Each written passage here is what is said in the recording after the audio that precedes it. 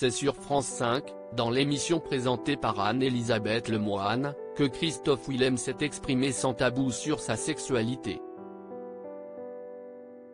Alors que Patrick Cohen l'a interrogé, ce mardi 31 janvier, sur le sens de sa chanson J'avance, l'artiste est revenu sur le harcèlement et l'homophobie dont il a été victime étant enfant et au début de sa carrière, Laurent Lamarca, auteur du titre, m'a dit, tu me fais toute la liste de ce que tu as entendu, ado et quand tu es devenu connu et je lui ai répondu mais ce sont à peu près les mêmes trucs, a-t-il d'abord avancé?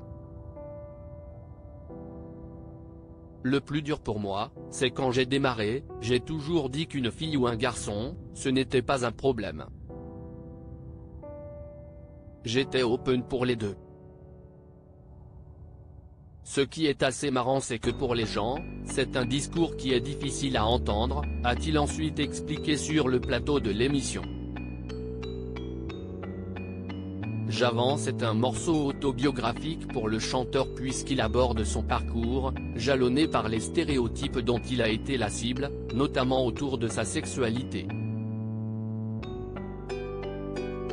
J'ai vraiment entendu le mot PD, souvent j'entendais les gens dire que j'étais bi pour ne pas dire que j'étais gay, a-t-il finalement lancé à Patrick Cohen.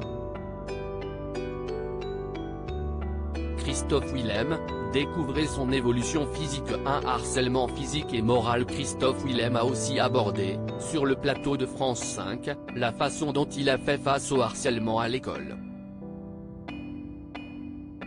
Dans une interview accordée à Karima Charny, il s'est souvenu notamment des mots douloureux d'une surveillante lorsqu'il était encore au collège, si est une fiotte en même temps, si est normal qu'on le tape.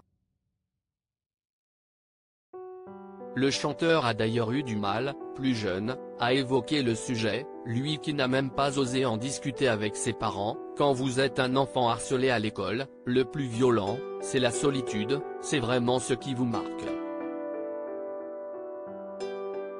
Les coups et les insultes, c'est terrible. Mais quand vous êtes petit, au bout d'un moment vous vous dites que c'est une journée de plus, a-t-il assuré. Article écrit en collaboration avec 6 médias. Crédit photo, c'est à vous France 5.